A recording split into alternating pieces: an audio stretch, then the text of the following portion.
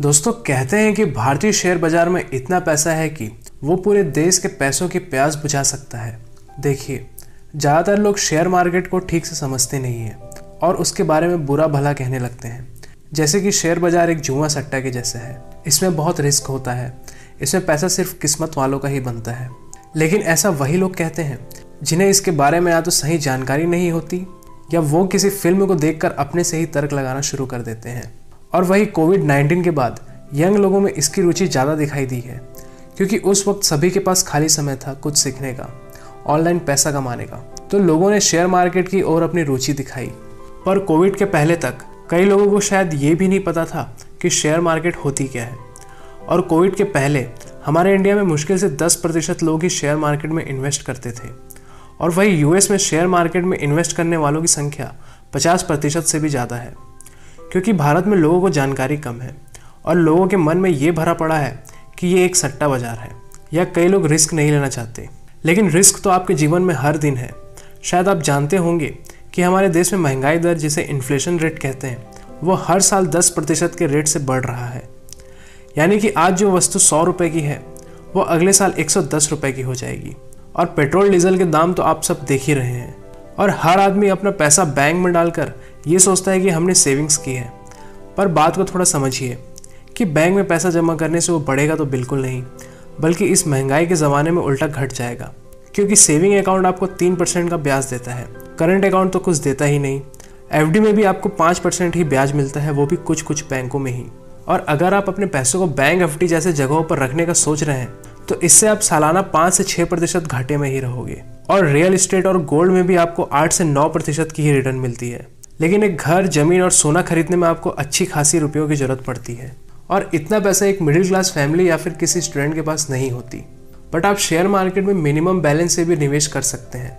Sir Warren Buffett जिन्हें king of investing कहा जाता है, जिनकी पूरी वेल्थ सिर्फ़ इन्वेस्टमेंट से ही ग्रो हुई है, उन्होंने ये कहा था कि मैंने इन्वेस्टमेंट महज तेरह साल की उम्र में ही चालू कर दी थी। लेकिन मुझे लगता है कि मैंने इन्वेस्टमेंट काफ़ी देर में चालू किया।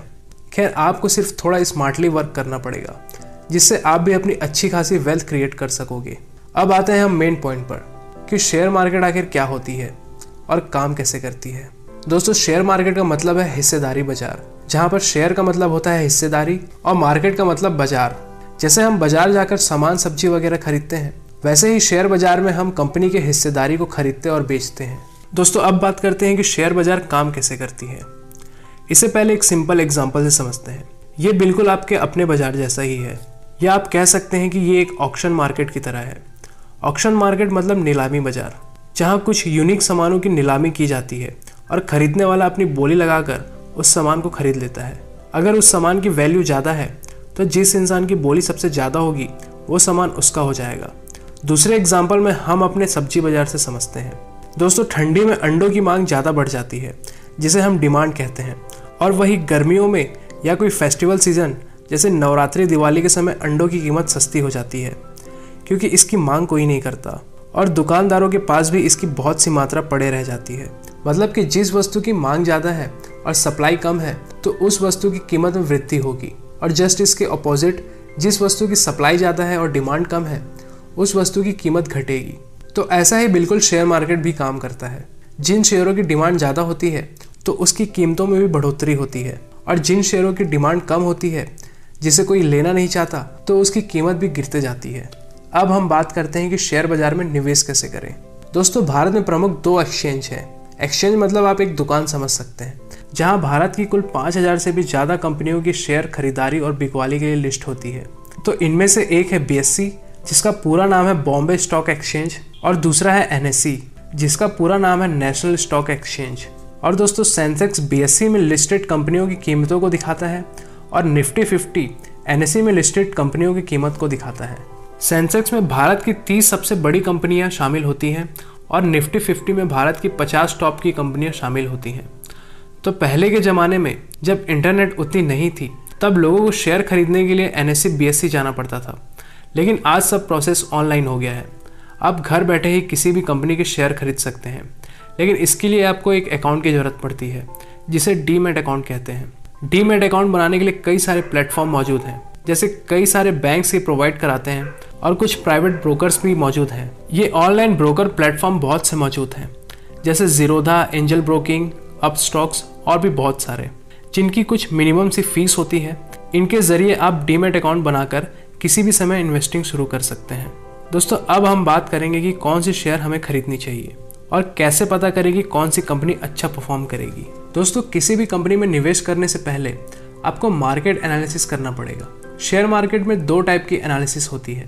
पहला है फंडामेंटल एनालिसिस और दूसरा है टेक्निकल एनालिसिस तो दोस्तों फंडामेंटल एनालिसिस में आप कंपनी के परफॉर्मेंस चेक करते हैं, उनकी बैलेंस शीट चेक करते हैं मैनेजमेंट चेक करते हैं, उसके प्रोडक्ट चेक करते हैं और कंपनी के बिज़नेस को एनालिसिस करते हैं।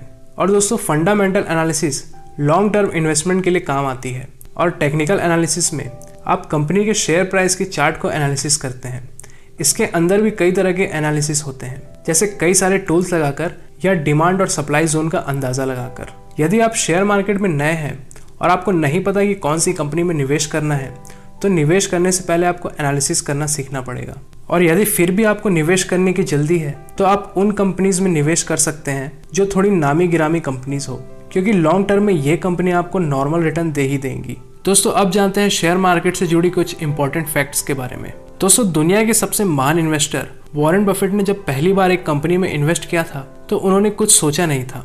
बस उन्होंने उसी कंपनी में निवेश किया था, जिस कंपनी का प्रोडक्ट वो खुद यूज़ करते थे।